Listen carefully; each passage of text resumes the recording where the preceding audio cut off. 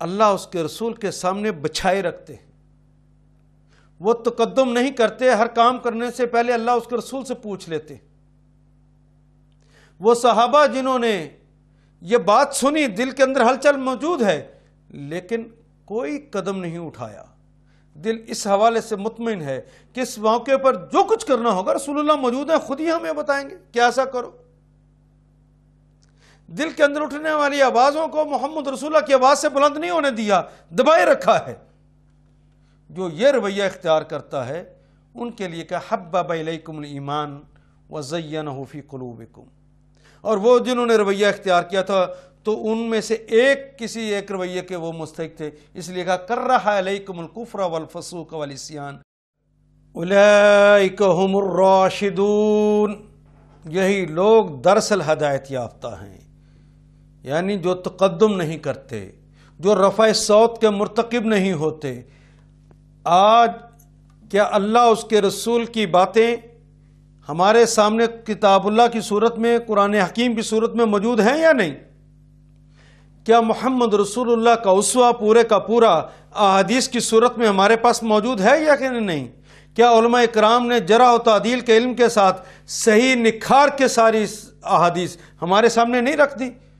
तो हर काम करने से पहले हमारा फ़र्ज़ बनता है, अगर राशिद बनना चाहते हैं तो पहले अल्लाह उसके रसूल से पूछें, किताबुल्लाह से पूछें, सुन्नत मुतारा से पूछें, अपनी मर्ज़ी, अपनी मंशा से कोई काम ना कर वरना वो फिस्क हो जाएगा, वरना वो शायद कुफ्र हो जाए, शायद वो शिरक हो जाए, किसी और तरफ़ हम चले जाएँ। एक ही रवैया है राशिद के लिए कि अल्लाह उसके रसूल से वालमफ़ीकुम रसूल अल्लाह अल्लाह के रसूल तो तुम्हारे अंदर मौजूद हैं। किताबुल्लाह की सूरत में भी और अहदीस नबवी की सूरत में भी।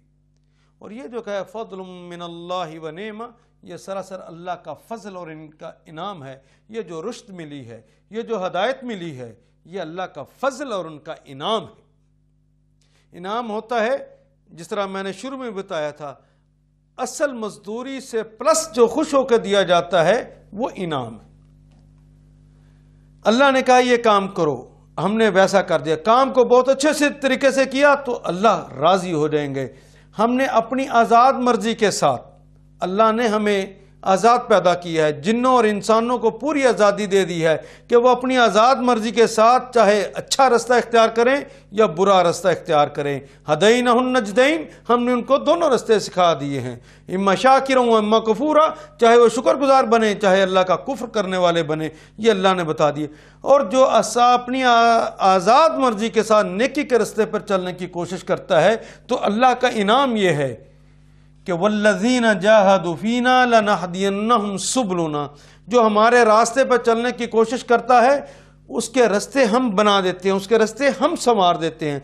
ये रास्ते का बनाना, ये रास्ते का संवारना, ये अल्लाह की तरफ़ से इनाम है। अल्लाह अलीम है, अल्लाह हकीम है, अल्लाह जानते हैं कि इसको जब आज़ाद मर्ज़ी पे छोड़ा जाएगा दुनिया के अंदर तो ये नेकी का रास्ता इख्तियार करेगा या बुराई का रास्ता इख्तियार करेगा? जब अल्लाह अलीम, जो फ़ैल उनके वज़न पर अलीम है, वो जानते हैं कि ये नेकी का रास्ता इख्तियार करेगा तो अल्लाह उनके लिए फिर रुश्त लिख देते हैं, उनके लिए हदायत लिख देते हैं। और ये अल्लाह की हिकमत का तकाजा है। और अगर अल्लाह का अलीम होना ये बताए कि ये उल्टा रास्ता अपनी आज़ाद मर्ज़ी से इख्तियार करेगा तो फिर अल्लाह की हिकमत का तकाजा यह है कि वाया मुद्द हम फ़ी तुगयान हिम या महून फिर अल्लाह उनकी रस्सियों को दराज कर देते हैं, वो अंधेरों में ही भटकते रहते हैं, उधर ही टामक टोइयाँ मारते रहते हैं। आइए लोगों, आओ, मिलकर आज फैसला करें कि हर हर काम करने से पहले ना कोई काम छोटा होता है, ना कोई बड़ा होता है। हमारे रवैये उसे छोटा और बड़ा बनाते हैं। और ये कहने वाली हस्ती, अगर हुक्म देने वाली हस्ती अल्लाह हो, उनके रसूल तो काम छोटा रह जाएगा। हर हर मामले में वो छोटा हो, जिन्हें हम कहते हैं, या बड़ा हो, वो जब अल्लाह उनके रसूल कह दे कि ये करो तो वो बड़ा हो जाता है। हर हर मामले में जब अल्लाह उसके रसूल की हम इतात करने वाले हो जाएँगे, उनसे पूछ कर चलने वाले हो जाएँगे तो अल्लाह हमें हदायत याफ्ता लोगों में शामिल कर लेंगे। अल्लाह मुझे और आपको हदायत याफ्ता लोगों में शामिल कर ले।